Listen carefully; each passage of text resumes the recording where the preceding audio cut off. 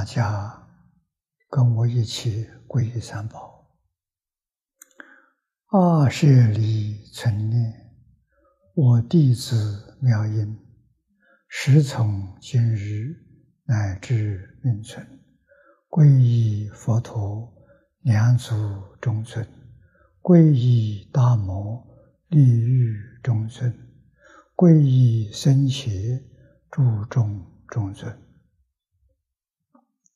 阿舍利存念，我弟子妙音，时从今日乃至命存，皈依佛陀，两足众尊。皈依大摩利欲众尊，皈依僧伽注众众尊。二舍利存念，我弟子妙音，时从今日乃至命存，皈依佛陀两足众尊，皈依大摩利欲众尊，皈依僧伽注众众尊。请看《大经科注》第五百六十三页，五百六十三页，从倒数第三行看起。倒数第三行当中，啊，这个挂虎三，云何名菩萨法人？从这看起，啊。前面我们学过啊，这十种人里头的内人、外人。这第三呢，是菩萨法人。佛语诸经说微妙义，诸法极尽。诸法即灭如涅槃，啊，如涅槃相，不惊不怖。作是念也：我若不解世间，不知是法，终不得菩提。是故菩萨请求，自问读诵，是名法人。啊，这个意思。说的很明白，那就是佛法确实有它高深的一面啊，不容易懂。要不要学呢？要学。为什么不学不能成无上菩提？所以一定要学，学。要能忍，要有耐心，啊，不是短时间能成就的。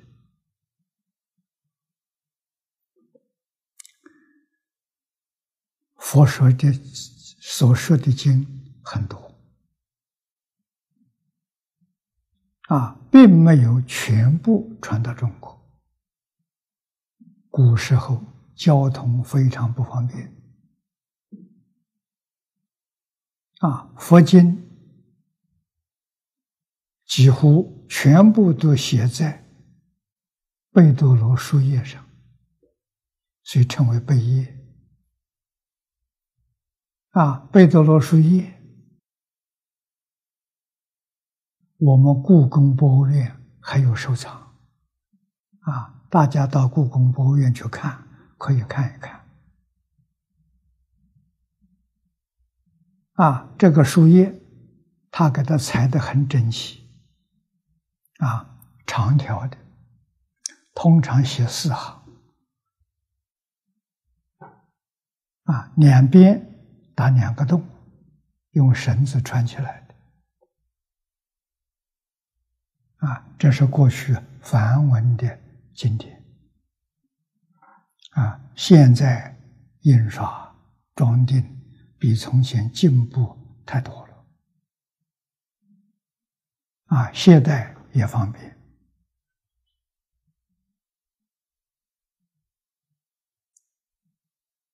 那么这些经书，印度的法师到中国来，中国法师到印度取经，精挑细选的，啊，找最重要的，尤其迫切我们需求的，优先挑选出来，啊，不是很重要的就不带了。减轻行李。啊！以前这些经书都是马、马匹、骆驼背到中国来的啊，从印度走路到中国，差不多要走一两年的时间，很不容易。啊，这里头有不少大乘经典，讲的是菩萨法了，大乘经的众生的根性不相同，所以佛随顺众生的根性说。八万四千法门，说无量法门啊！八万四千是对我们人间讲的，无量法门是对变法界、虚空界讲的，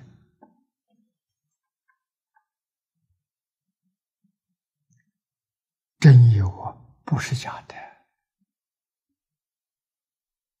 啊，世尊事先成道是三十岁，啊，十九岁出家，放弃国王的继承权，啊，他父亲是国王，他是长子，他要不出家。将来继承王位，啊，十九岁他不要了。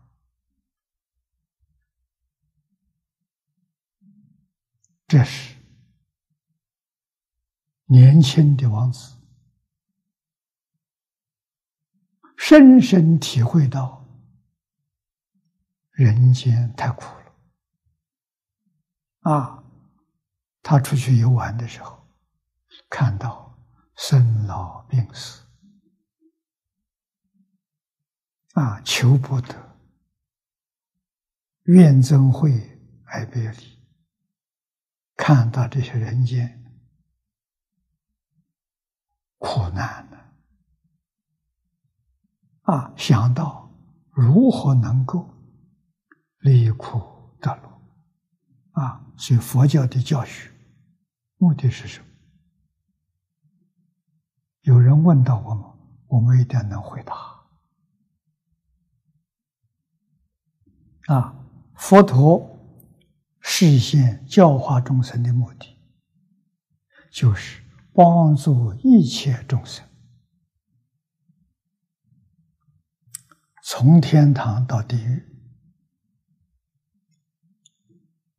六道轮回里面的众生呢，还包括十法界。啊，帮助这些东西众生呢，离苦。得乐，离苦要离究竟苦，离得干干净净；得乐了，要得到圆圆满满的快乐。佛一生给我们干这个事情啊，苦从哪里来的？从迷惑颠倒，迷失了自信，从这来的。乐从哪来的？乐从开悟来的。对于宇宙人生一切诸法的真相，明白了，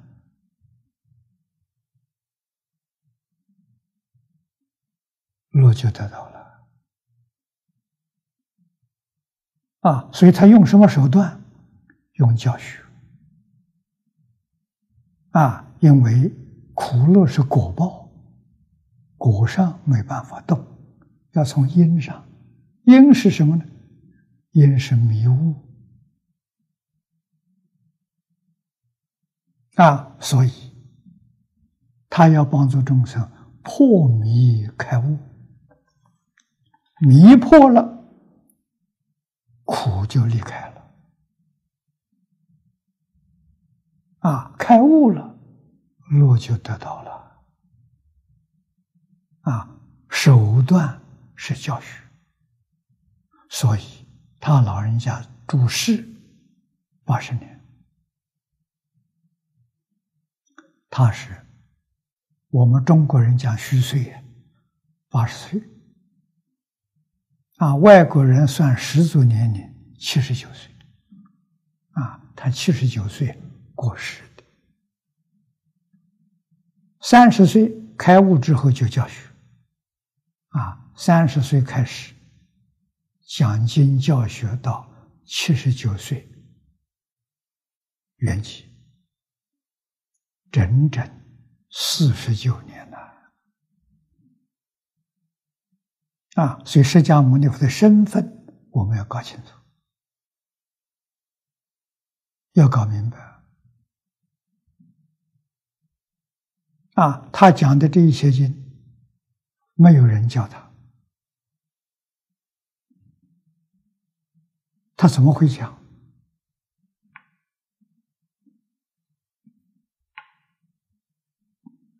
我们用《六祖坛经》这个例子，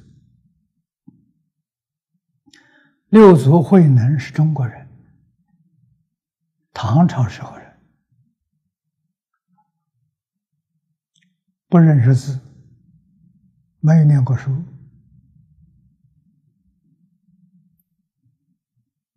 年轻的时候，砍柴。为业，樵夫。啊，这个行业现在没有了。抗战时候还有啊，也就是二次世界大战，中国这个行业有，还有一个行业。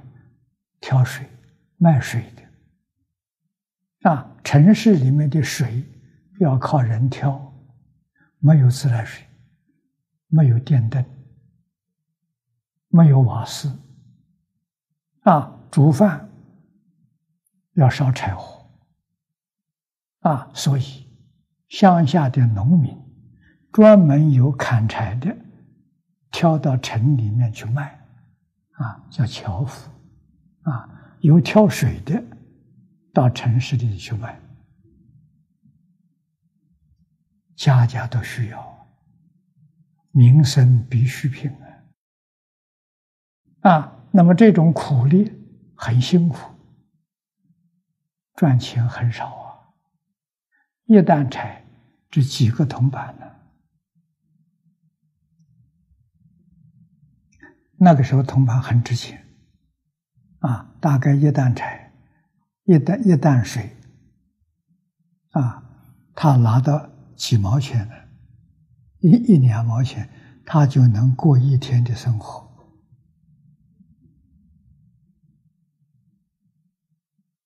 啊，所以那个时候，城里面打工的，一个月能赚两块钱，就可以养家了。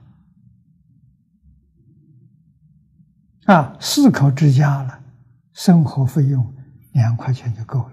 那是以前用银元，不是钞票，还没有钞票啊。钱是用铜铜板，啊，铜板银元，啊，这个一毛两毛的，也好像也是也是银的，啊，都是银，啊，不像现在，现在用纸钱的。啊，就有这种行业。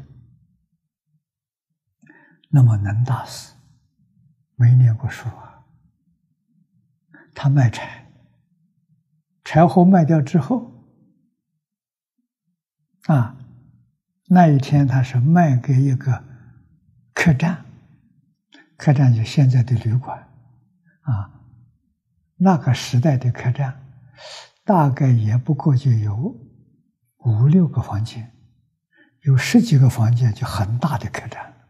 啊，小客栈呢，都是三五个房间，啊，住几个客人呢？啊，顶多大概十个人吧，十个人、二十人就住满了，啊，小客栈，这些都是我们记忆的很清楚，啊，我们经过这个年代，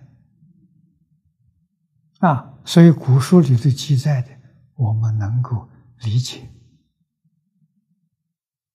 啊，能够啊体会到，啊，能大师离开客栈出来的时候，经过窗户，房间的窗户，里面有人读书的声音。那个时候的窗户没有玻璃，用纸糊的，所以声音能听得见。人看不看不清楚，声音可以听得见。啊，这个人在里头念《金刚经》，他听了几句，他听懂了，就站在那听一会越听越欢喜，一直等到他念完，然后他就敲门进去。啊，这是一个住客栈的客人。那就问他：“你刚才念的是什么？”啊，我听的很有道理。那这个客人感到很惊讶，《金刚经》是一部很有深度的经典，他能听得懂，这就不是普通人。啊，所以就问起来：“啊，他干什么的？”啊，他家里只有。母子两个人，父亲过世了，啊，母子二人相依为命，啊，砍柴为业，就到这边卖柴，啊，问到这个《金刚经》，听得欢喜。这个居士看到这样的人才，觉得很难得，啊，那一年他二十四岁，很年轻的。啊，去劝他，啊，到黄梅去参学，去见五祖。啊，那他生活没办法了，这个居士就送十两银子给他，十两银子，他一年的生活费用都够了。啊，再由念佛的这些朋友、佛友联络几个人。带他照顾他的妈妈，这样他就放心了。啊，他到黄梅去参学，在黄梅住了八个月，五祖衣钵就传给他了，所以他的衣钵，也就是禅宗第六代祖师啊，二十四岁。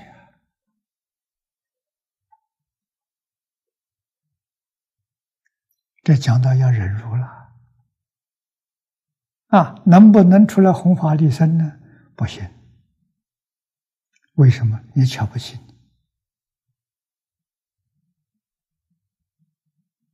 别人不服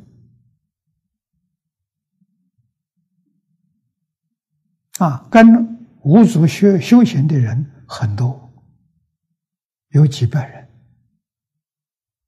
啊，当中以神秀是大师兄，每个人都认为集成五祖的一定是神秀，啊，不可能是别人，所以五祖宣布要传传法，叫大家每个人做一首记送给他看。啊，三天没有人送，为什么？大家都认为是神秀的，啊，我们都比不上神秀，做这事白做了。啊，神秀自己心里也有数，大家不敢呈递寄送，都是为他。那他要不做呢，说不过去了。啊，所以他是真是也费尽心思。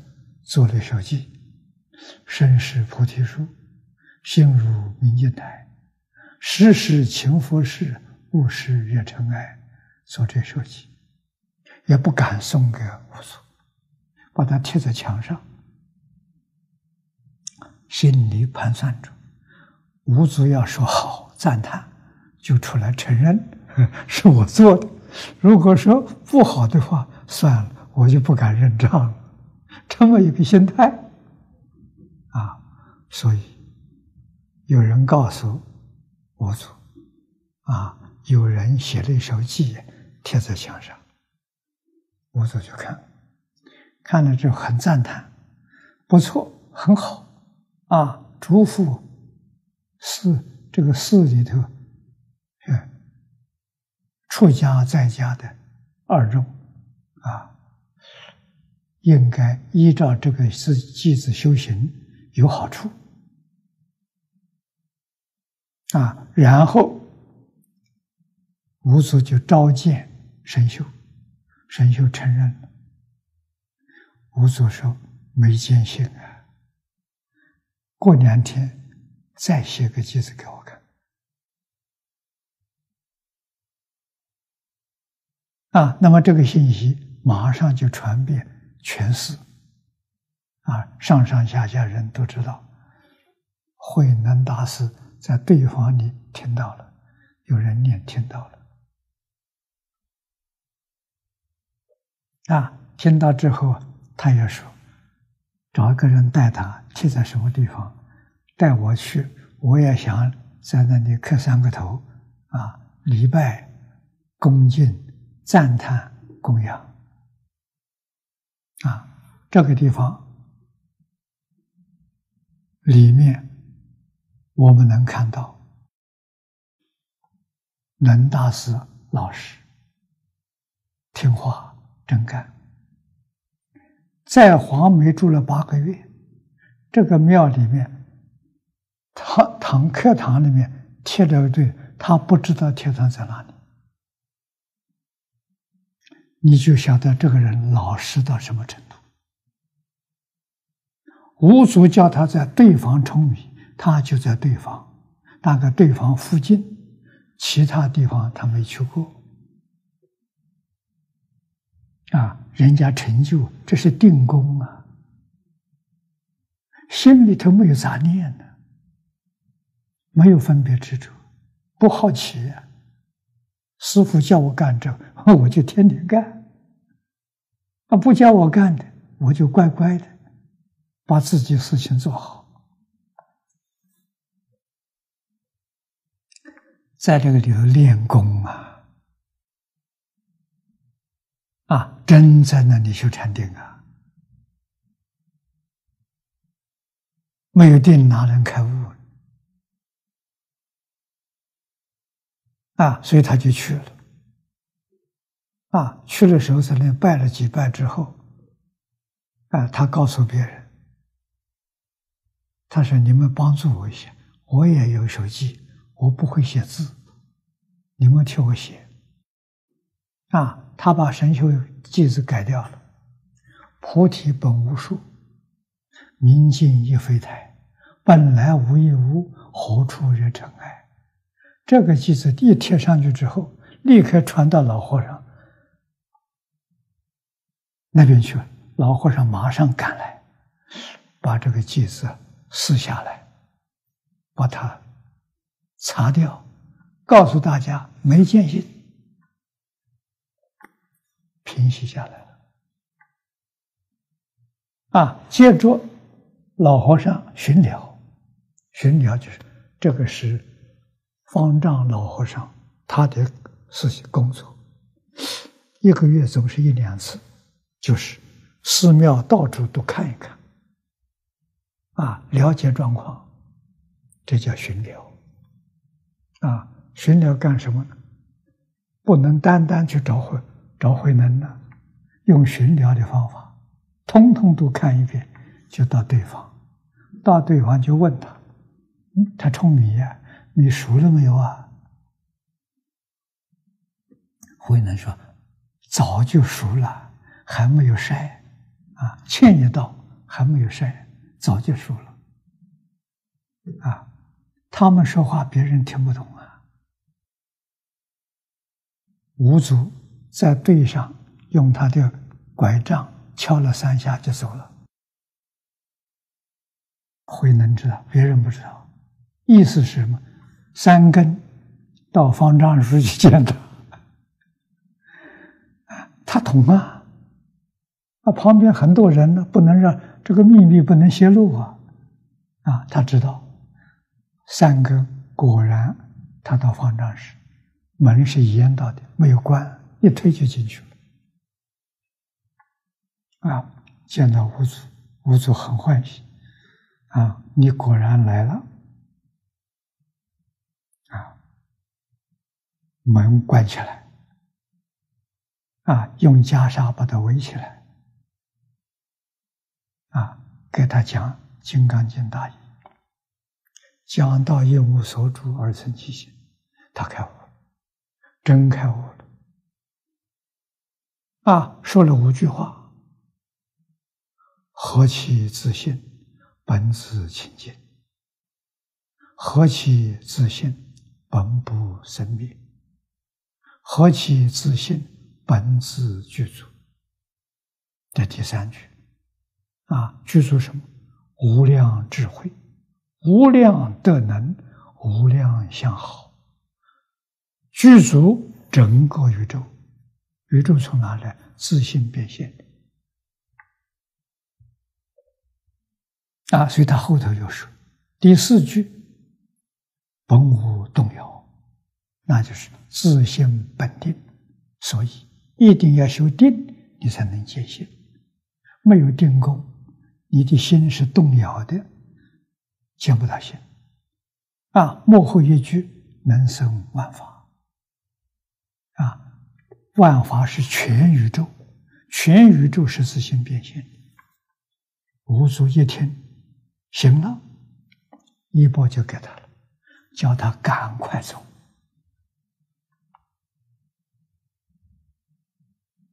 啊，而五祖呢，在房间里三天没出门，没出房间。啊，大家认为和尚身体不舒服，要多休息。实际上，五祖是给他三天时间，叫他走得远远的，怕人家追追不上。啊，都清楚啊，什么原因啊？记住障碍呀。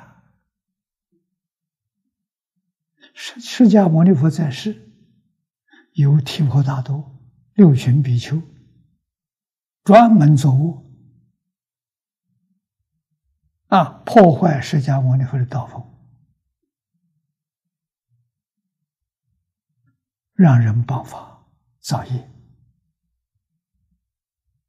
啊。慧能大师出现唐代，那个时候是中国佛教的黄金时代啊。高僧大德太多了，还有嫉妒障碍，还有不服的。啊，我们今天，你要是修得好，讲经要是讲得好，嫉妒障碍来了，要修忍辱不容易啊！啊，不能忍，那就没法子了。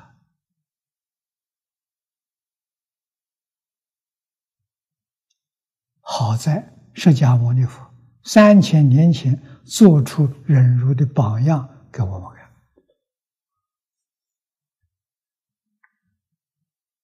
看，啊，祖师大德真有成就的，啊，语言不成熟要藏起来，他躲在猎人队里头，十五年不是短时间。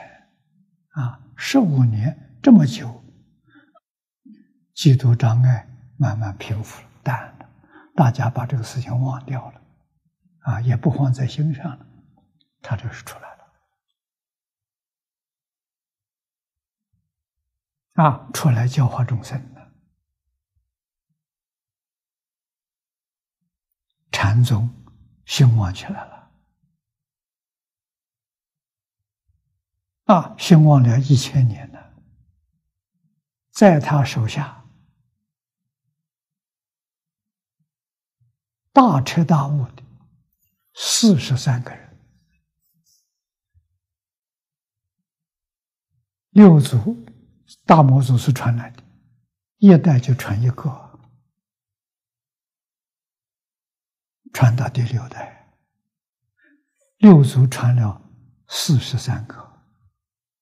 都是大彻大悟，明心见性，真的是空前绝后啊！六祖以后，这个四十三个学生，他们所传传下来的，一两个多，三四个很少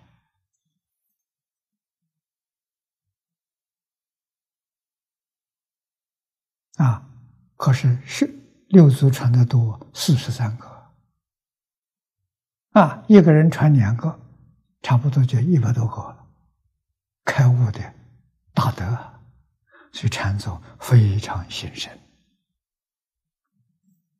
啊，他幕后说的这句话了：“何其自信，能生万法。”这一句很重要。宇宙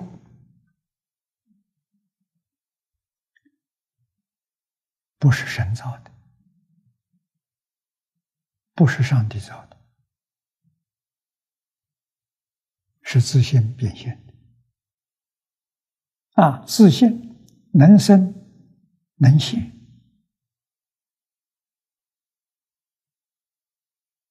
现的是什么世界？无量寿经上所说的西方极乐世界，自信现的，没有例外啊！把自信现的一真法界变成十法界，变成六道轮回，这是阿赖耶干的。啊，自信没有，自信只是能信，能生能现，不能变。啊，阿赖耶，阿赖耶是妄心，自信是真心，这个诸位要知道。啊，这里讲的自信是真心，真心没有生命，真心没有染污，啊，真心没有动摇，真心在哪里？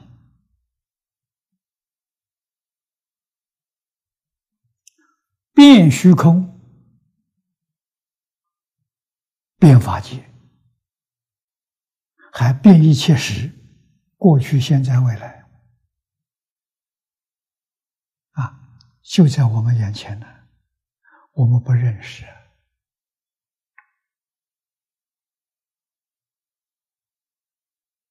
真心啊！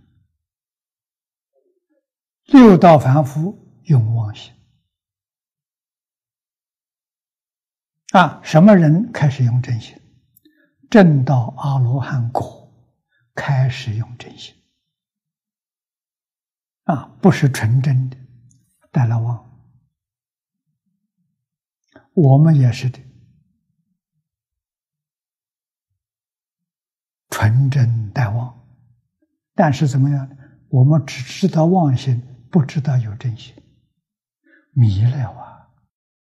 阿罗汉知道。有真心，有妄心，真中有妄，妄中有真，他偏于真，所以他超越六道轮回啊！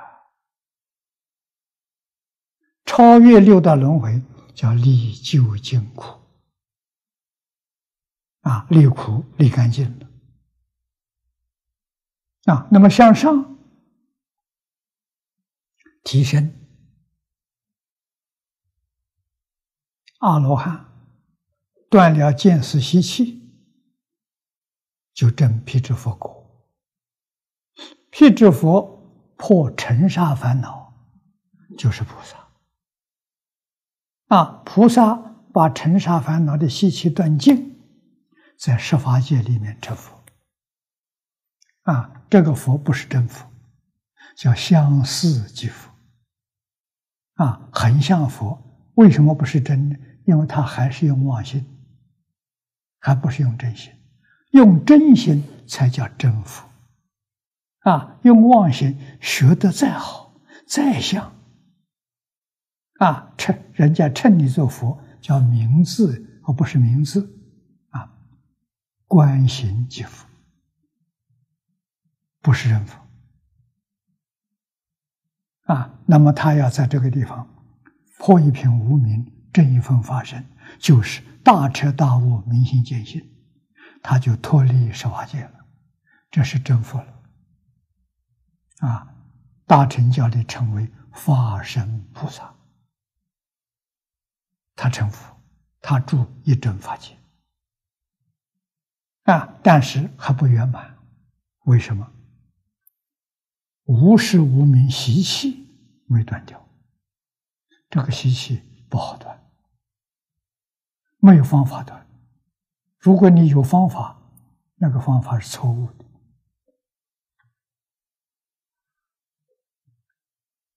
自信里头一发不离，怎么会有法出来？啊，怎么断呢？随他去。啊，佛在经上举了个比喻。啊，好比一杯一瓶酒，他用酒瓶做比喻。这个酒瓶里面的酒倒得干干净净，确确实实没有了，啊，擦得干净，闻起来还有味道。这就比喻习气，怎么办呢？瓶盖不要盖，放在这里，放个半年，放个一年，再去闻闻，没有了。啊，那么这个明心见性的菩萨，啊，是是佛了，要成佛，见性就成佛了，啊，用真心了。要到什么时候习气完全断干净了？有三个阿僧祇劫，很长啊。啊，那么他要有这么长的寿命啊，三大阿僧祇劫，这就是经宗里面所说的有量的无量。这个寿命是有量的三大阿僧祇劫。那么三大阿僧祇之后呢，他习气断了，那就自自然然变成无量的无量。啊，所以极乐世界有量的无量跟无量的无量，它是结连接的，啊，当中没有脱节的，从有量达到无量，真正无量寿啊！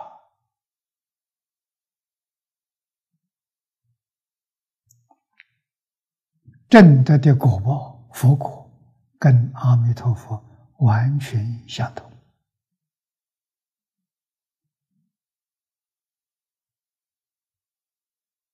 于是我们就知道，极乐世界的人多，十方世界一切诸佛都给大家介绍极乐世界，也就是讲这一部《无量寿经》，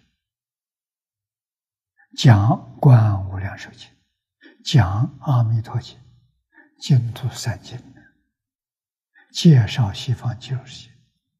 所以每一天，发愿往生极乐世界的人，十方世界不知道有多少啊！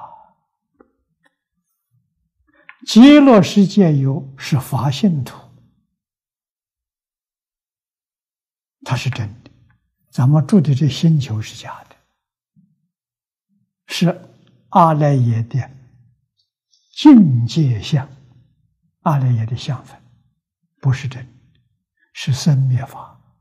啊。西方极乐世界是法性土，是真实的，是不生不灭的，永恒不变的，啊，完全是真心所现。那个里头的人，没有人用妄心，啊，妄心早就没有了，在什么时候没有的？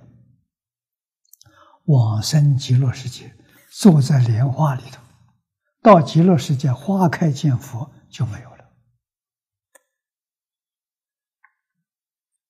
啊，阿弥陀佛威神加持，帮助你转世成智。弥陀的功德无量无边呐，真的要感激啊！那我们自己要转世成智，不是简单事情啊！这一生决定做不到啊，总得要多生多劫才能够转过来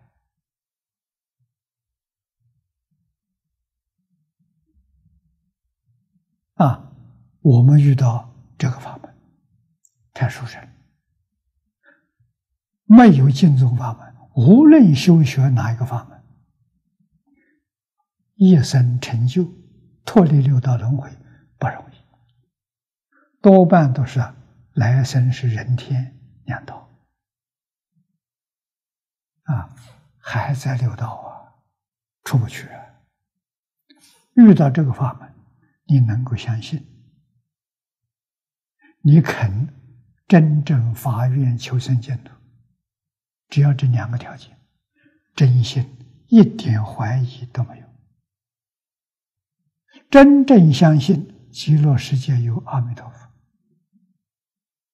我下定了决心，一定要到极乐世界亲近阿弥陀佛，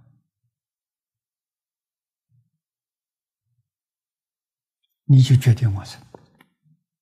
所以，这个法门很容易去，很难相信，叫难信之法。啊，我们要把握这个机会，啊，一定要相信，相信佛菩萨绝对没有妄语，绝对不欺骗我们，啊，真正信，真正发愿。往生极乐世界，越早越好。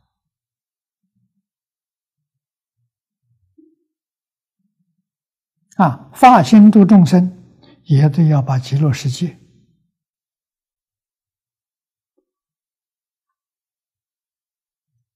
我们现在讲啊，报名注册。然后心就放心了，啊，真心切愿，极乐修极乐世界报名注册了，啊，你好好念佛，能不能往生是心愿，往生极乐世界地位多高，那是念佛功夫的前身。不是多少，念佛多少没关系，念佛要有功夫。功夫是什么？把这个世界放下，没有留念，没有牵挂，这才行啊。如果还有牵挂，还有留念，这个麻烦大了。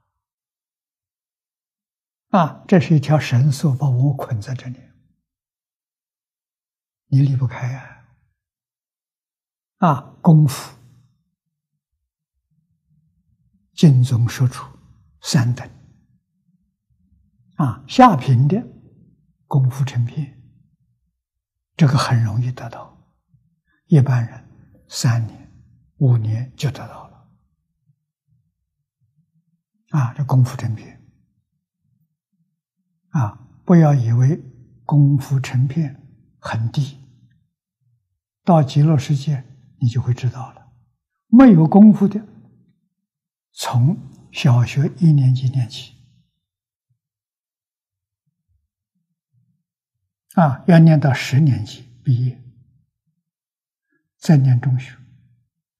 中学也是一年级到十年级，功夫成片是中学一年级、二年级，不是小学。没有功夫的人是小学一年级、二年级，就是下平下生啊，凡圣同居土啊，九品往生的。功夫成片呢，是方便有余土，九品往生。所以在这个世间，万缘放下，一心专念阿弥陀佛，念上个三年五载，到极乐世界插班了，插中学的班了，这个正确。啊，那么再提升，就是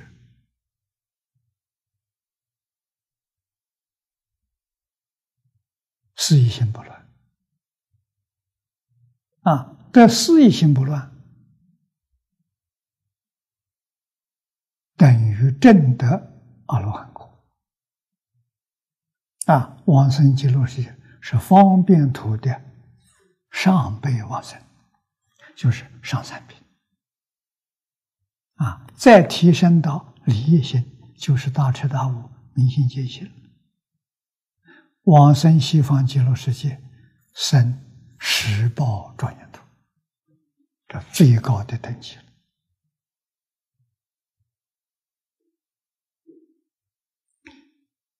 理事都要搞清楚，都要搞明白，实现大体。啊，所以放下要靠什么？要靠忍呐！啊，你能忍，你才能放下。啊，忍不过就是放不下，跟放下的关系太大了。啊，放下身心世界。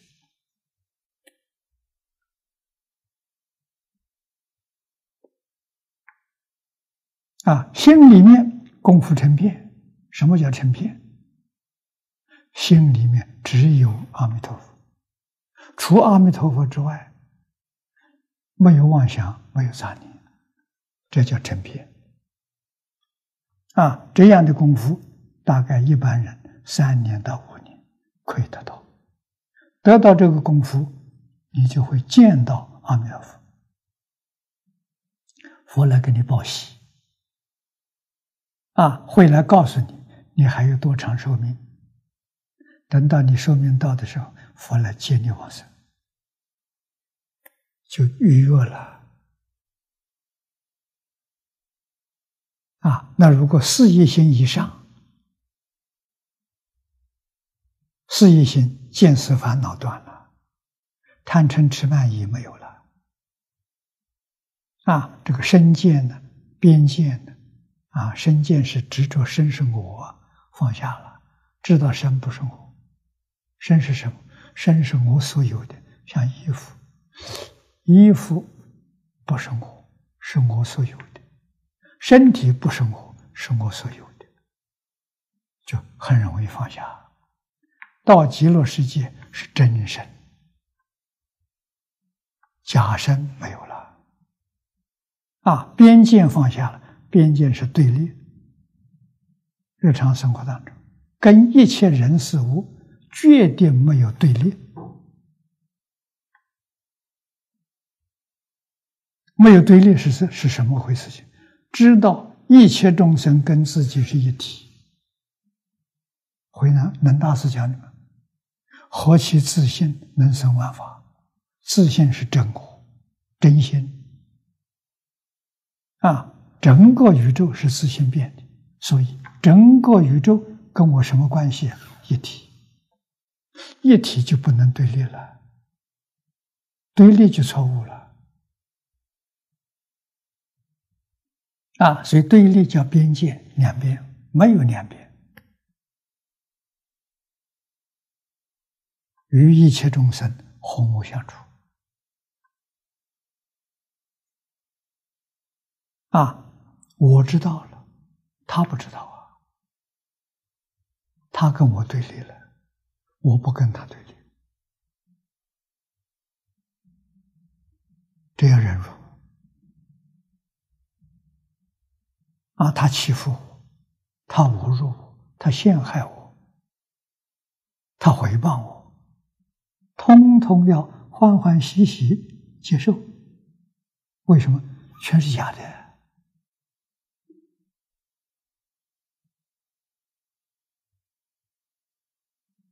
啊，他所说的、所所作所为的，要原谅他。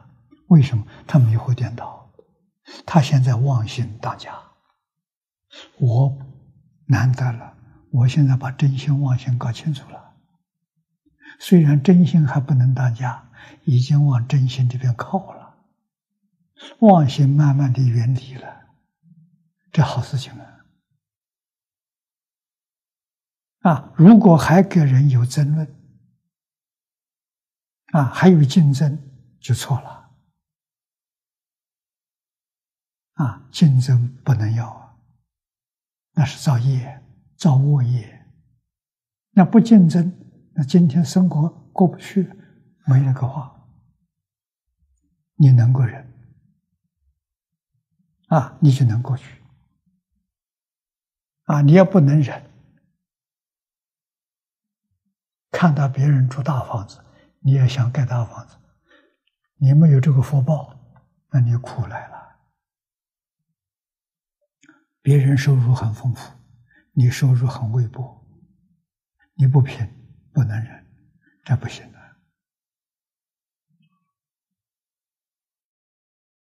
啊，他收入再多丰富，他还不足啊，还有贪心呢。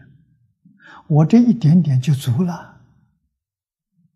我就不想多求了，啊，每天能吃得饱、穿得暖，有个小房子遮避风雨，好啊！不要再求了，人道无求，品质高啊！啊，人道无求，道业就成就啊！啊，决定不跟人争。啊，不跟一切众生争，心平气和，就养一个阿弥陀佛，心里头就阿弥陀佛，除阿弥陀佛之外，什么也没有。这样三年功夫成片，阿弥陀佛来给你报喜。啊，所以如果是到事业心、利益心，到极乐世界，随时想去，佛就来接引。你得大自在啊！那么在先前众生苦难，你想去啊？佛如果看你修的不错，你还挺挺有智慧，挺有福报的，佛就会加持你，叫你在这个世间多住几年，寿命到了。给你延长，海贤老和尚就是，他活一百一十二岁，他没那么大年岁啊，我看他也不过就是七老八十，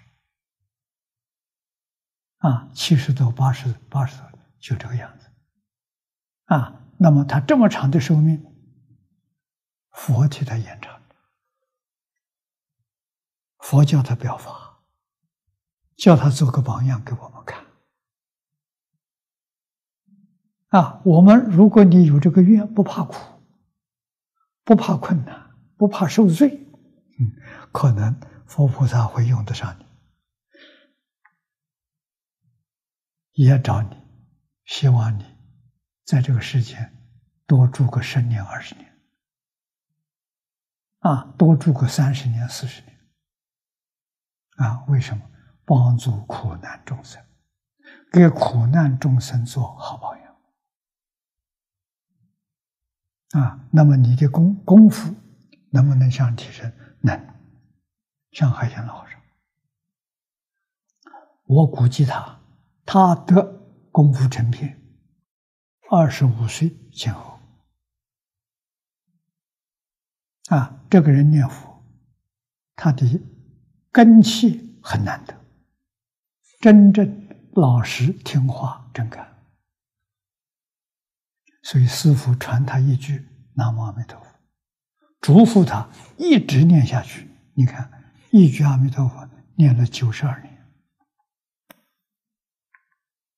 除了睡觉之外，佛号不间断的。啊，不出声，默念，心里头念的，不妨碍工作。他的工作是农耕。种地不妨碍啊，所以二十岁出家开始念佛，二十五岁得功夫成品，三十岁得四意心不乱，四十岁得第一心不乱。就是大彻大悟，明心见性啊！这个等级跟慧能大师证得的是平等的。慧能是顿悟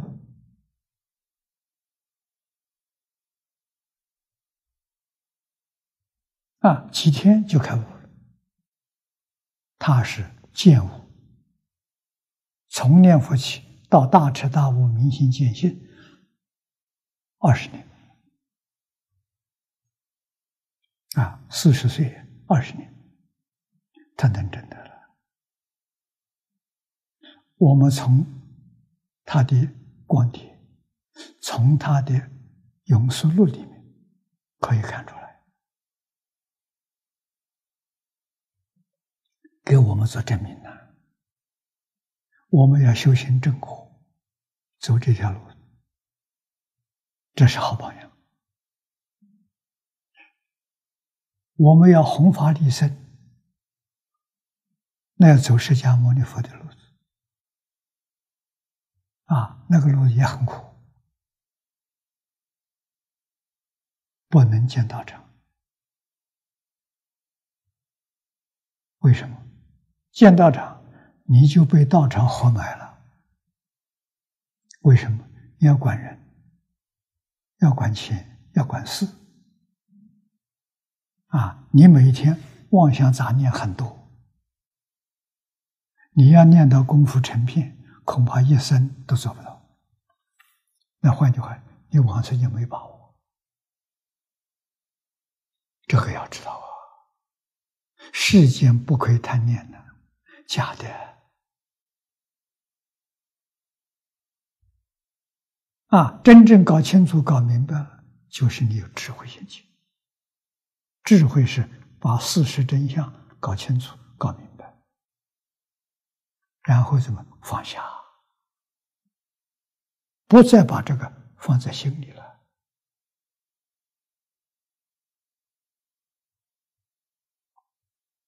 这一点比什么都重要。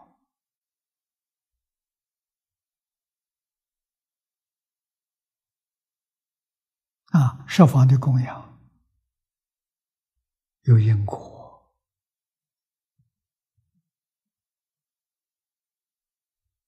把这些供养用错了，要负因果责任的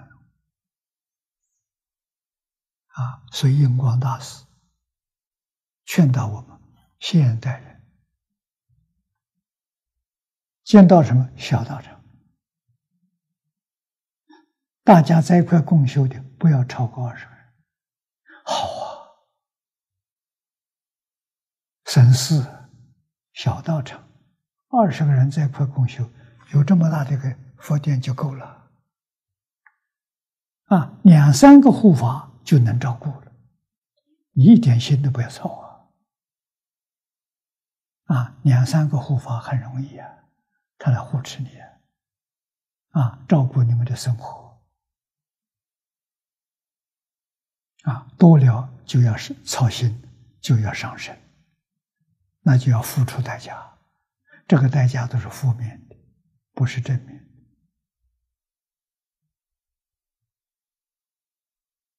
的啊，所以决定不能够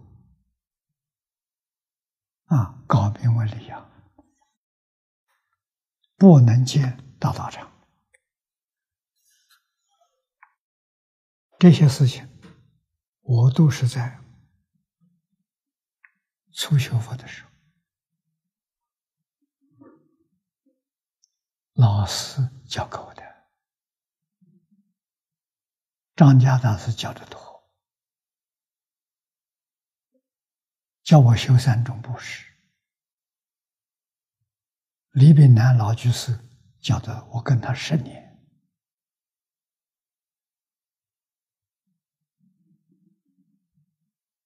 啊，尤其是张家大师教我学释迦牟尼佛。释迦牟尼佛一生没道场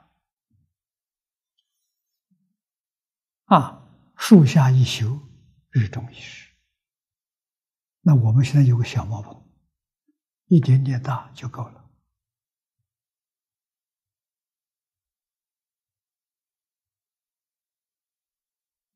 啊，心满意足啊！我的小茅棚送人家就不要啊，太显小了，所以不操心啊。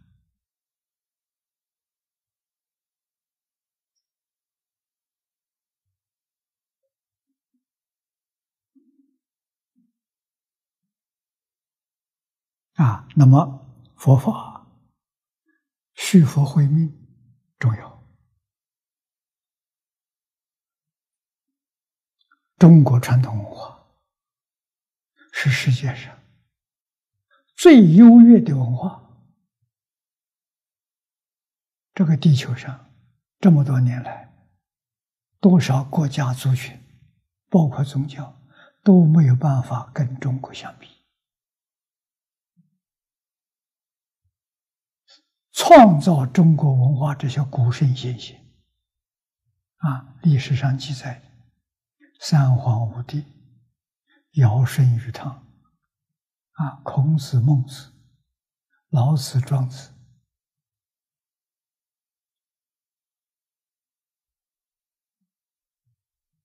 我总感觉到他们不是凡人，佛菩萨再来的，要不然怎么能传这么好的东西传下来？啊，在中国用了几千年，啊，至少用了三四千年，没有出事情啊！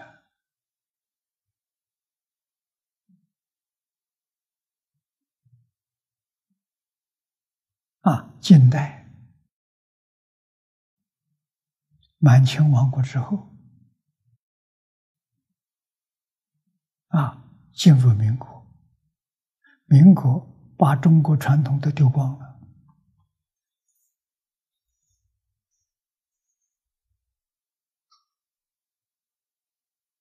啊，出现了社会不相互，群众互相欺诈，没有信用，啊，社会的动乱。灾难这么多，古时候有很少，这历史上也记载，证明中国传统这些东西管用啊。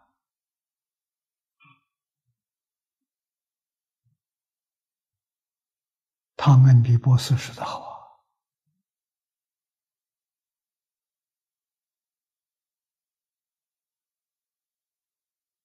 啊。整个地球社会动乱。他说：“中国人遇到困难，只要回头找老祖宗，问题就解决了。啊，在全世界哪一个国家族群老祖宗是断我修善积功累德？你去找，找不到。老祖宗懂得断卧修善积功累德，只有中国这一个族群，没有第二个。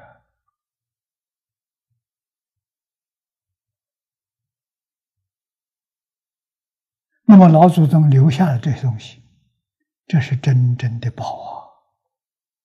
其他的宝是假的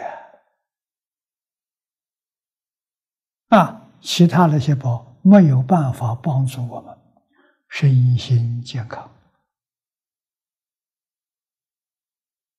幸福快乐，做不到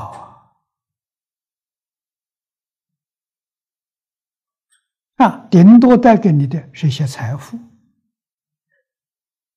佛说：“财为无家共有，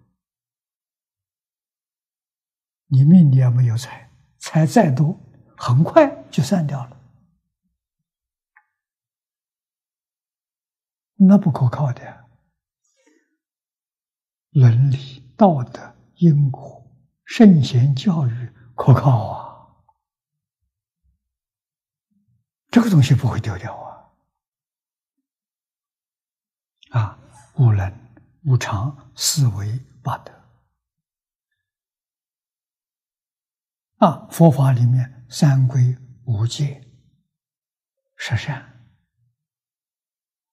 加上这一句阿弥陀佛，问题全解决了。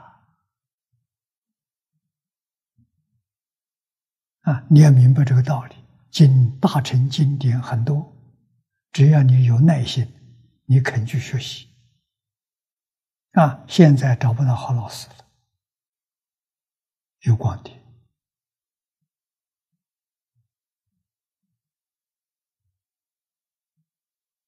可以帮很大的忙啊！利用这些科学工具，科学工具也不太可靠。一个大地震，一个大海啸，一个城市，几分钟就没有了。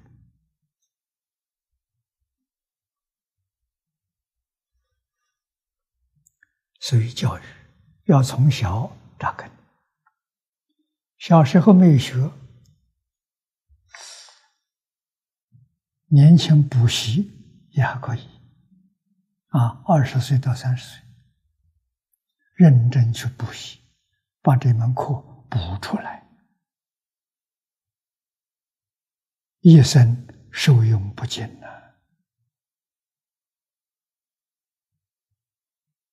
啊，这就是我们想办汉学院。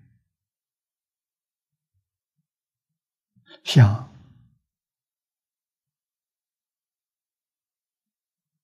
为古圣先贤积绝学啊，为千年万世开太平，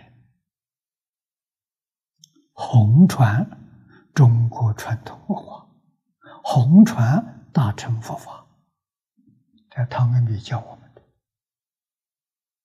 他说的很明白，解决。二十一世纪的世界社会问题，只有中国孔孟学说跟大乘佛法。孔孟学说在中国，大乘佛法也在中国。啊，孔孟学说四书五经，啊，大乘佛法华严、天台。法相、三论、净土。啊，它东西太多啊，这五大类就行了，就能帮助社会安定，帮助地球化解灾难。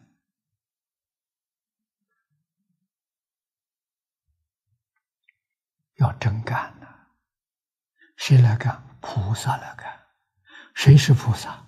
你要发心，发个大愿，我要当菩萨，这才行。求人不如求自己啊！求人，人不肯，没办法，求自己啊！征求自己，三宝加持，祖宗照顾你，发心要紧。啊，不怕苦，经得起考验。啊，顺境遇到的环境好，对自己有利有利益。啊，遇到的人也好，都是好人，会帮助我的。顺境善缘，不起贪念。要守本分啊！遇到恶缘，环境不好，很恶劣，想做事情处处有障碍。啊，遇到人不好，都是骗我的，都是想占便宜的，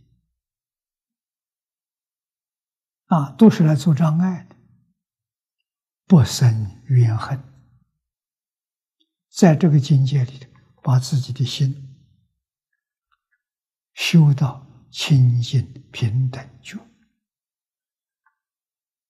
你就能够实现带众生苦啊！实现红传传统文化，红传大乘佛法，你就能做到啊！不发大心大愿。不愿意吃苦头，这做不到的，决定做不到。啊，真正要吃别人不能吃的苦头，要人别人不能忍人的耻辱，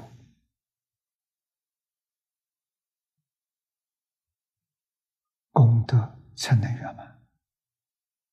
啊，要效法祖宗。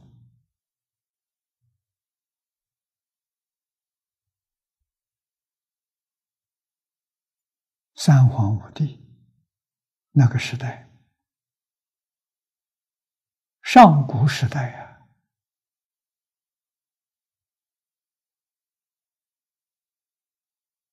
人民没有房子住啊，住在洞穴里头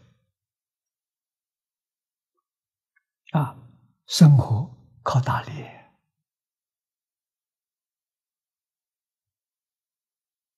到神农。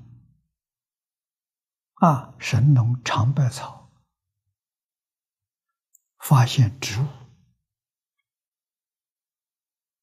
可以养生呢。啊，所以他叫人农耕定居游牧，没有定居。啊，农耕的时候，田地在这，所以就定居了。啊，定居，这就有了房屋了。啊，都是很简单的，土墙，上面盖茅草。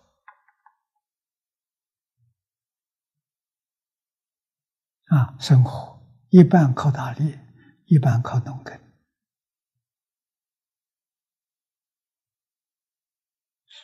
我们祖先。能受得了啊，能忍啊，啊，随着你时间推移，啊，慢慢的人越来越聪明，发明许多机械，啊，带来很多方便，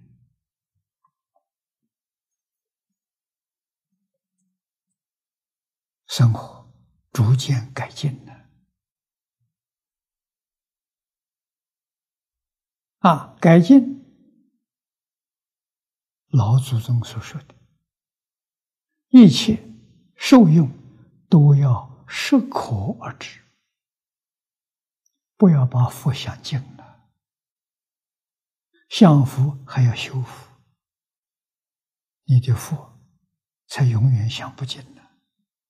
你要不修福，福想完了，苦难就来了啊！所以想佛要懂得重福。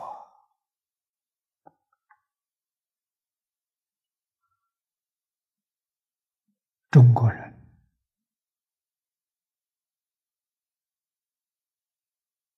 子子孙孙都遵守祖宗的教诲，所以这个地区在各个不同的朝代都会有太平盛世。这盛世怎么出现的？教育出现的。啊，我们对祖宗的教诲没中断呢。啊，一直到清朝，罪魁祸首应该是慈禧太后。慈禧太后傲慢，不讲理。不好学啊！宫廷里面，清朝宫廷，常常礼请专家学者到公堂里讲学，文武百官都在上课，像现在的党校一样。啊，他把这个制度废除了，不听这些人的，啊，他迷信。他喜欢服软，所以国家大事都求鬼神来指导，鬼神把他的国家灭掉了。啊，清朝亡国了，民国起来了，中国社会都在动乱，军阀割据，日本人的侵略。啊，动乱不安，造成今天的灾难。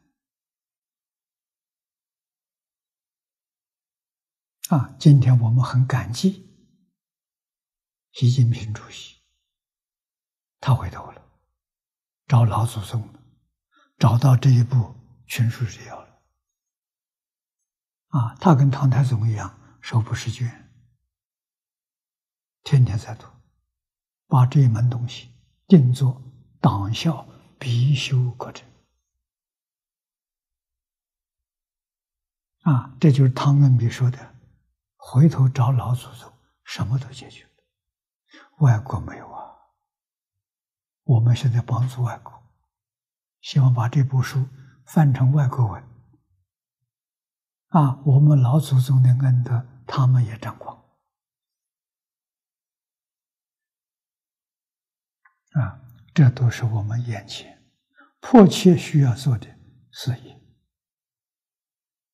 啊，最重要的发现，做菩萨，做菩萨要受苦受难。啊，能受苦受难，才能救苦救难。啊，不能受苦受难，就不能救苦救难。啊。现在人真的太苦，太可怜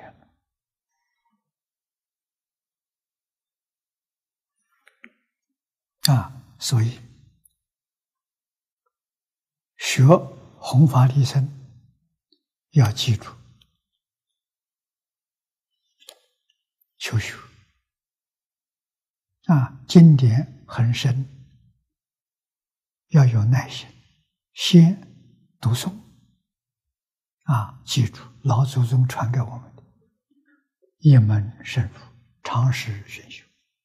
啊，经选一种，不要选多，选一种。啊，读先把它读三千遍。啊，一遍一遍读。啊，如果经分量太大，念一千遍。不能少过一千遍。啊，像《无量寿经》，我们用的这个本子要读三千遍，有的分量不多，读熟了，大概读两年，读一遍只要半个小时。啊，所以你一天读十个小时，就二十遍字。念得准确，没念错，没念漏掉，这就扎根了。啊，这是什么？修戒、修定，用这个方法，读书的方法来修戒定。因为你读书，你不会胡思乱想，你不会犯戒。啊，你想的都是经上的东西。啊，这个世间东西你已经不再想它了，这就真持戒。啊，一门深入是修定，我不夹杂，我这一门修多久呢？十年，十年之后我再去修别的东西，容易了，你的根扎下去了。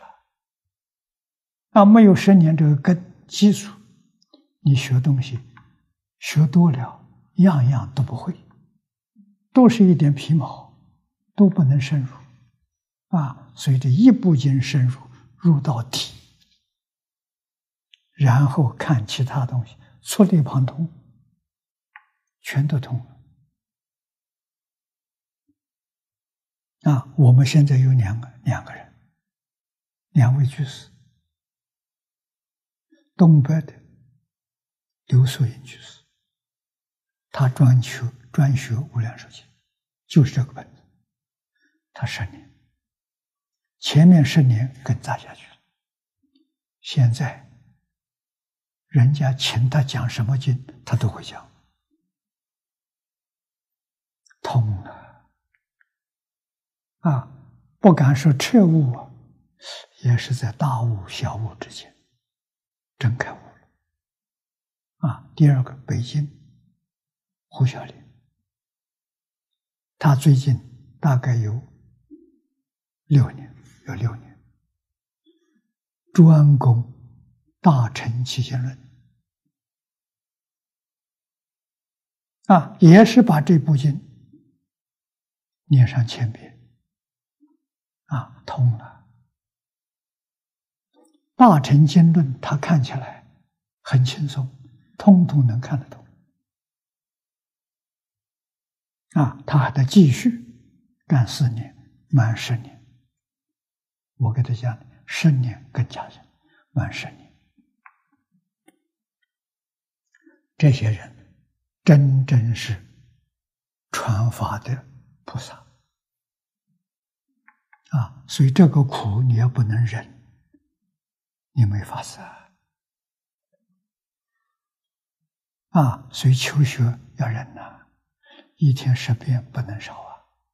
开头很生疏，念这部书、这部经，念一遍大概有两个小时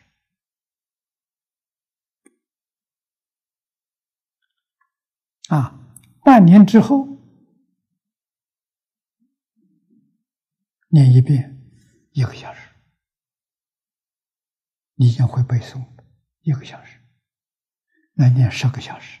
念十遍，啊！现在开始，十个小时念五遍，啊！半年之后，十遍，十个小时十遍；两年以后，十个小时二十遍。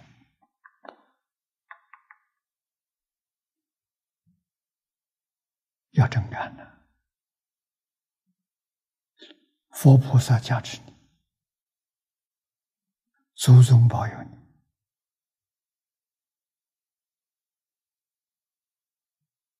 啊！十年之后，你再去教学，弘法利生，无论教什么经，你都没有障碍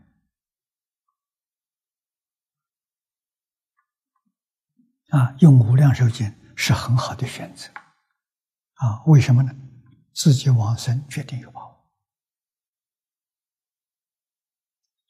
对自己不操心了，可以专门帮助众生，把佛法复兴起来。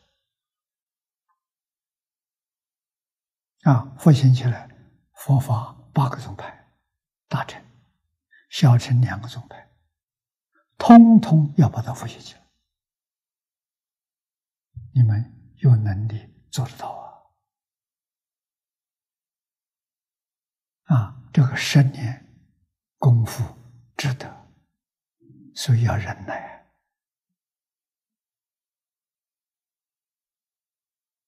啊！传传承国学也是一样啊，中国传统文化啊，也是要从扎根教育。啊，扎根一定是相同的。啊，《弟子规》感应篇是善业。啊，传统东西，过去私塾叫同盟养正的，有十几样东西。啊，像《千字文》《百家姓》。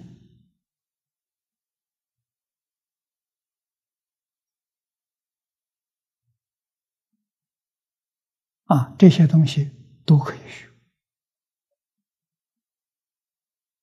百家姓把每一个姓氏、故事来源讲清楚、讲明白，小朋友对于他的姓氏、他的家就会很爱护，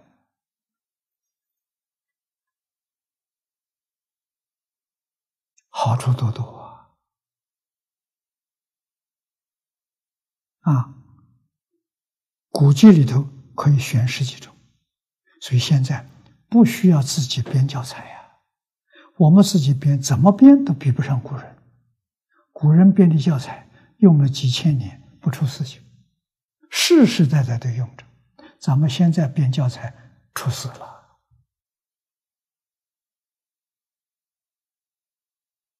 用旧的好，不要找新的。啊，旧的东西太多了，非常有价值。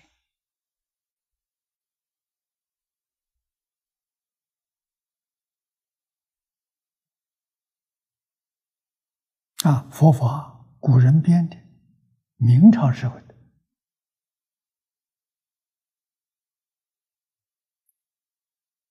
佛教三字经，我相信有一些人看到过。那个做入门很好啊，文字不多啊，啊，十个宗派都介绍到，啊，真的是一部初学佛教、认识佛教，或者是佛教常识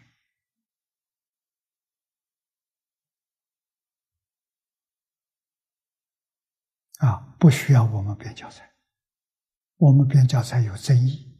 每个人都想编，编的时候都不一样。啊，用古人东西好，在古籍里头去选择。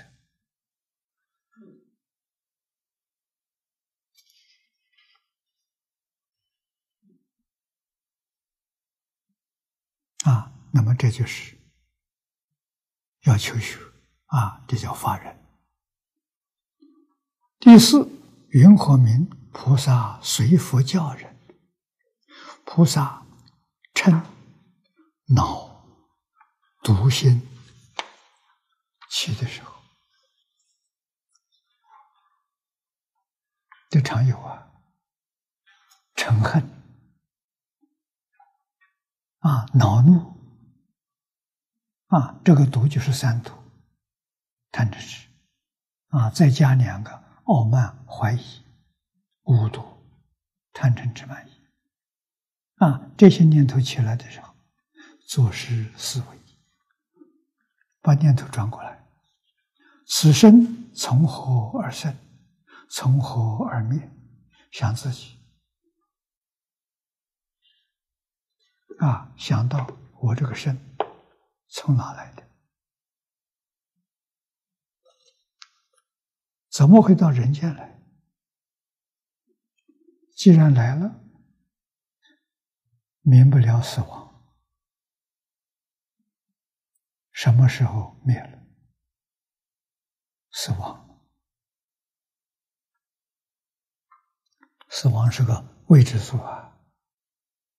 说从我生者，何者生我？从彼生者，何者是彼？啊，我生的，我来投胎的，我是谁？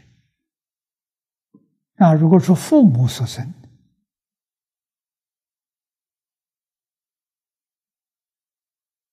啊，父母又是谁？他为什么能成功？法相如是啊，一切万法的现象是这个样子的。从何因缘生？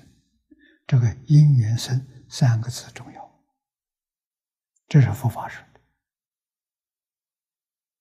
啊，佛法认为整个宇宙都是缘生的。啊，因缘果报。啊，因缘是能生，果报是所生。啊，如果明白这个道理，善缘下面果报肯定善的；恶缘下面果报肯定是苦的。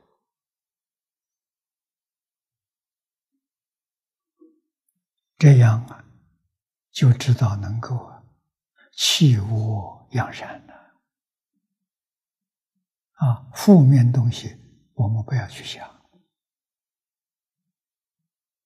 不要去理会，也不要去说，更不能去做。啊。对于善面的、正面的，我们认真学习，认真培养，前途一片光明。啊！真正的幸福啊！所以佛说：“万法因缘生，万法因缘灭。”啊，菩萨做事是为时，不见所从生，亦不见所缘起缘生。啊，亦不见从因缘生。亦不见从我生，亦不见从彼生，亦不见从因缘生。做事思维，一不嗔，不恼，不妒，嗔怒之心，即便减少啊。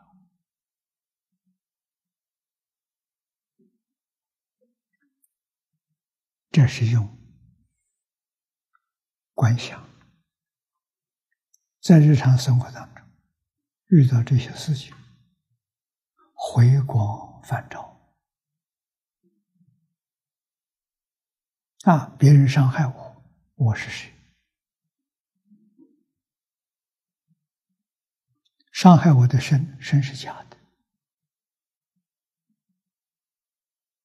刹那生灭，了不可得。啊，他不能伤害啊，用心去想一想，想明白了，烦恼就平息了，啊，就回归自然，啊，自然是清净平等觉。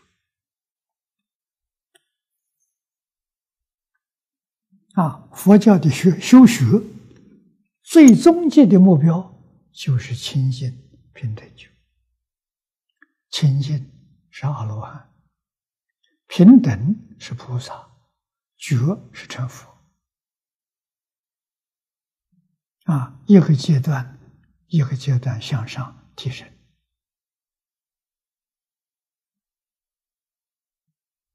觉了宇宙人生的真相啊！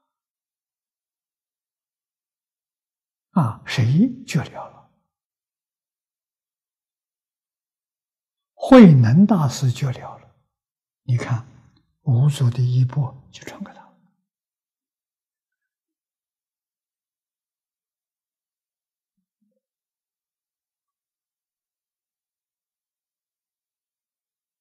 所以，我们常常要每天要修忏悔，忏除业障啊！普贤菩萨教给我们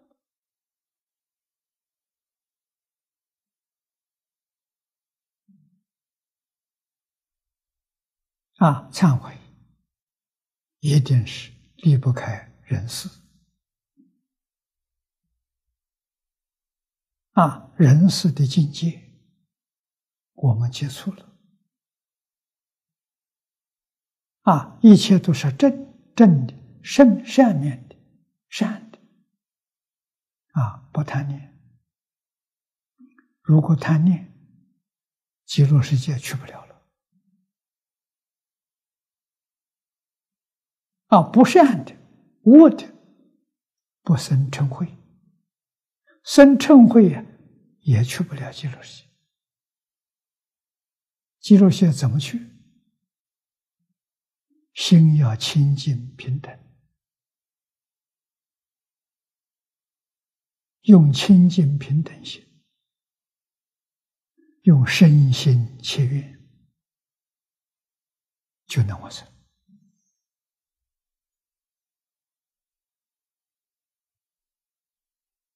啊，身心切愿是条件，清净平等也是条件。啊，西方是净土，净土从哪来的？心净则佛土净，是阿弥陀佛的净心、清净心变现出来的。每一个往生的人也用清净心。在净土里头添一份清净，这么成就的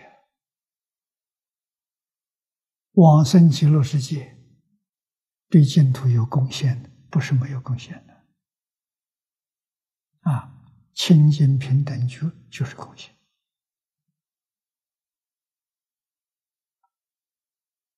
所以我们要做的平常做事，不嗔。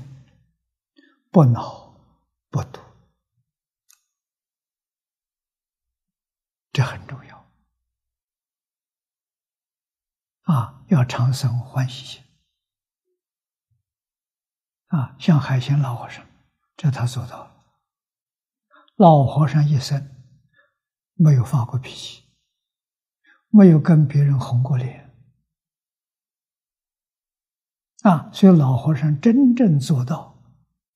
对人、对事、对物，没有嗔恚，没有烦恼，没有不善的念头，啊，这个读十三度谈真知，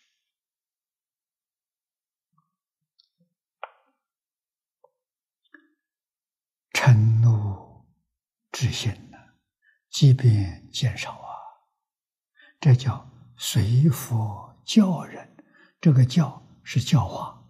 佛教的我们啊，佛教给我们的根本里面是三福、六火、三学、六度、十大愿望，够了，不用再多了，几乎都包全了。啊，三福是最高的指导原则。啊，第一条，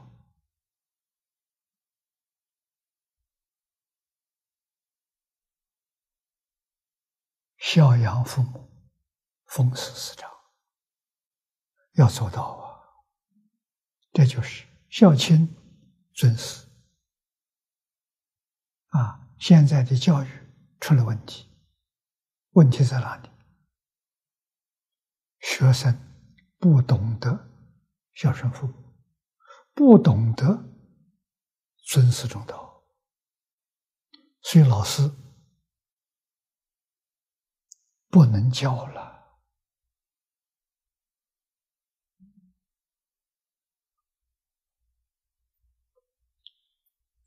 我是亲身遇到的，六十四年前。我二十六岁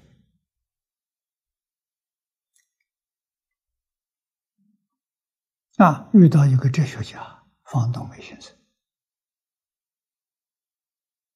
桐城派的后裔啊，我就想跟他学。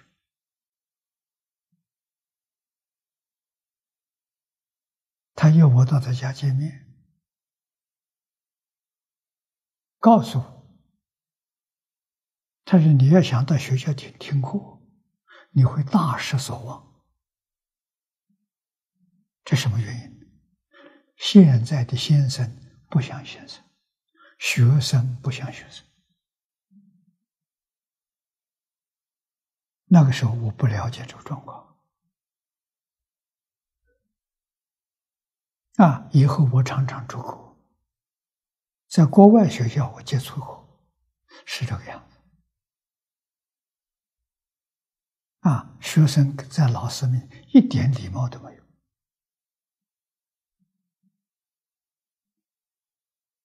甚至有学生不喜欢这个老师，理都不理他，当做陌生人，点个头都没有，这怎么行？啊，印祖告诉我们，中国传统的学术。要用真诚心、恭敬心才能学到，所以一分诚信、真诚恭敬得一分利，十分诚信得十分利。换一句话说，现在学生对老师、对功课没有诚信心，老师不教了，但是又不能不上课，老师他是职业。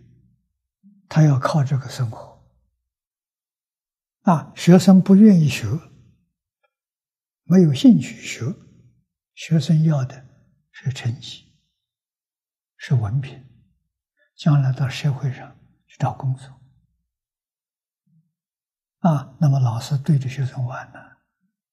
考试的时候把题目告诉大家，个个分数都好啊，个人满院都满了。东西没学到啊，所以我们想学，老师一个学生也教啊，他跟我约的，每个星期天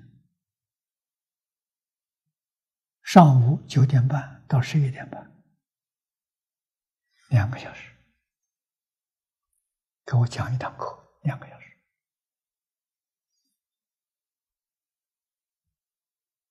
总共好像有两三个月，讲了一部哲学概论啊，最后一个单元佛经哲学，我非常压抑。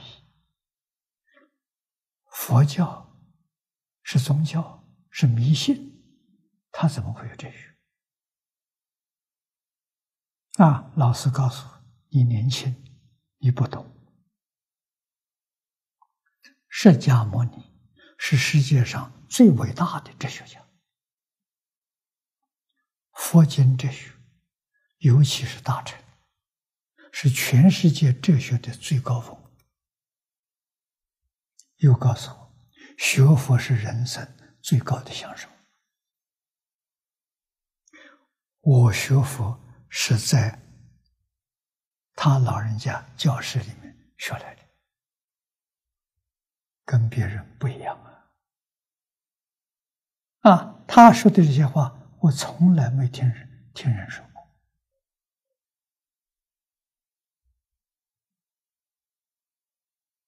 啊，是真的，不是假的，啊，所以这个课程结束之后，我就没有再去了。为什么我认识张家大师？老师是把它当做哲学来研究，张家大师是真干的，啊，真的是一位大德了，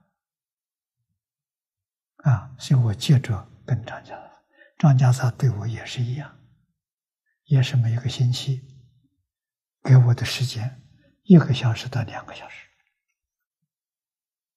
他他有工作的时候就一个小时，他那星期天没有事情，他就给我两个小时。我的佛法这么学来的，非常难得了，一个人也教我。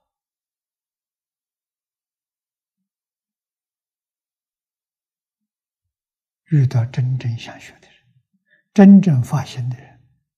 佛事门中不是一人，啊，如也如是啊。我们一分钱的学费没交啊，老师认真给讲学啊。那么这六十四年过去了，老师的恩德永远不能忘记。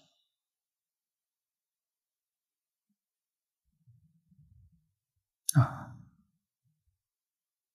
那么到现在，近代不但大乘佛法是高等哲学，它还是高等科学，特别是量子力学，现在所发现的，佛经上全有，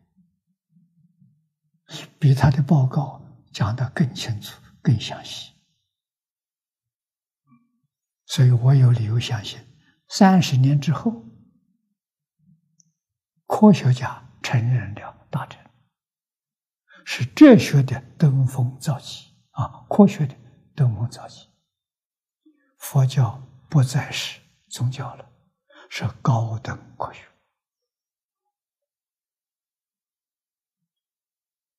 啊！宇宙的奥秘有三个，就是科学家构成宇宙的三样东西。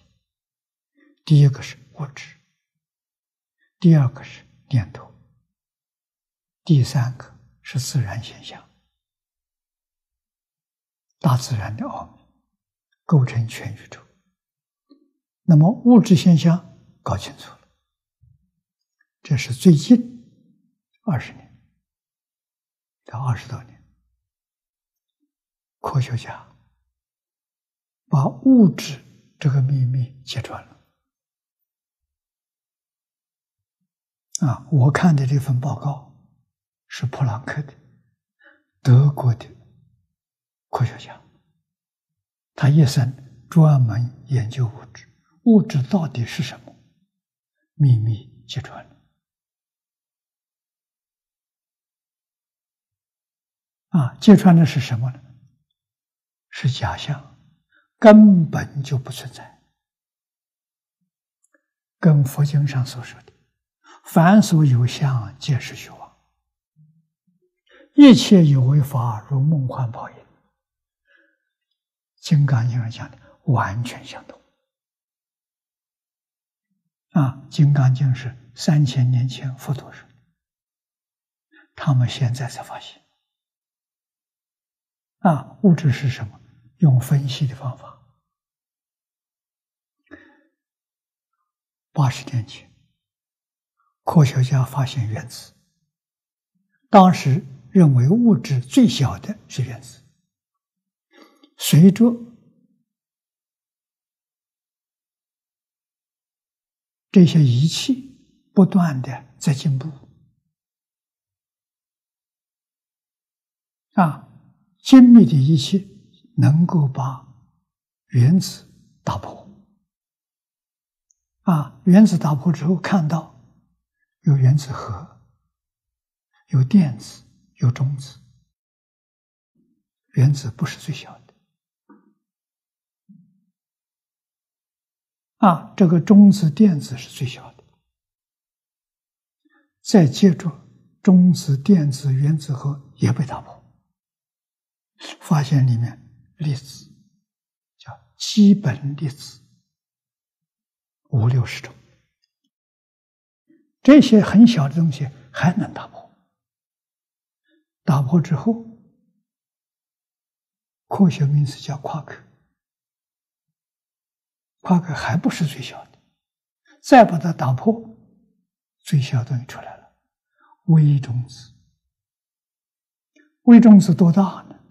科学家告诉我们，一百亿个微中子聚集在一起，它的体积等于一个电子，也就是说，它是电子的一百亿分之一，这么小。啊，肉眼是决定看不到的，肉眼连原子都看不到。啊，科学家这些仪器很厉害。那么再把微中子打破，没有了。啊，发现什么空的？这就跟佛经上说的，佛经讲的最小的物质叫极微色，极微色打破之后就虚空。就没有了，啊，所以它叫灵虚尘。佛教讲用尘土尘做比喻小的，这个灵虚，它跟虚空做隔壁了，跟虚空做隔壁了。它的意思打破的时候虚空出现了，所以叫虚。这个微中子打破之后，物质没有了。啊，看到什么呢？看到是念头波动的现象，这是恍然大悟。原来物质是从念头上生出来的，是念头生的幻象。啊，念头的频率多高呢？科学家还没说得清楚，佛经上很清楚。啊，现在我们用秒做单位。一秒钟，它生灭多少次？前念灭，后念生。这个念头存在的，念头不是假的，啊，前念灭，后念生，频率多快？佛经上讲的是两千两百四十兆，单位是兆，这么高的频率。啊，也就是说，物质产生在念头波动现象两千两百四十兆这么高的频率之下产生的幻想，不是真的。你要懂得这个道理了，你就晓得生彻底知道生不生我。为什么？一秒钟，我们这个相。变了多少次？两千两百四十兆次，哪一次是我？如果次次都是我，我又何其多了？哪有那么多的我呢？这讲不通啊！没有啊，假象啊！这个发现对我们学佛很大的帮助啊！啊，《金刚经》上两句话再没有怀疑了：凡所有相，皆是虚妄。一切有为法，如梦幻泡影，不在于疑惑，是真的，不是假的。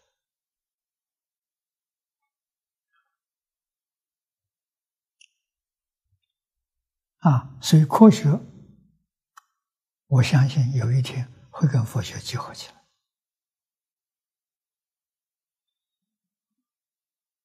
啊，今天时间到了，我们去学习到此。啊。随佛教人，佛教是经典，经典是我们要忍啊。你像以前不仁，我们都犯了过失。现在科学家说了，凡所有相，皆是虚妄。大家相信了，不再怀疑了。啊，所以我们想希望着科学在往前推进，把念头是什么？念头也不是真的。啊，阿赖耶的三细相找到了，这是宇宙的奥秘，宇宙就这形成的，啊，把它找到。我们回向哈。